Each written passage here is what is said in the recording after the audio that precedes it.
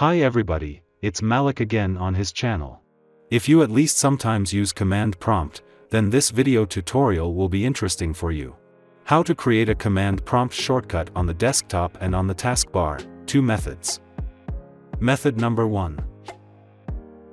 Right-click on the desktop screen and select, New, and then Shortcut. In the window that opens, write, CMD, EXE, and click, Next. Here you can assign any name to the shortcut. I will set the name, my CMD, finish. A command prompt shortcut has been created on the desktop, double-click on the shortcut, and the command prompt will open. Yes, now it will be easier to do this. Let's place this shortcut on the taskbar, and then we can open the command prompt in one click.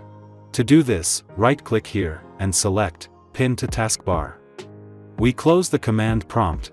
The shortcut on the desktop is no longer needed and can be deleted. Click the shortcut on the taskbar and the command prompt opens in one click. Method number 2. Press the key, Win, and R, on your keyboard at the same time. In this window, write, CMD.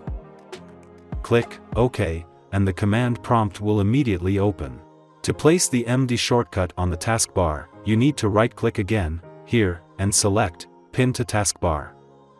We close the command prompt, the shortcut remains on the taskbar and now it will be much faster and more convenient for us to open the command prompt. This concludes my video tutorial, have a nice day everyone and see you again in my new videos. Good luck!